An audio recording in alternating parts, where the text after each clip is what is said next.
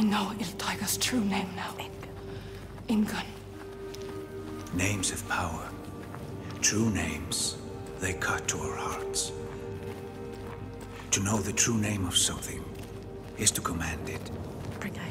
Can we call to her, like Duthraga did? She will kill.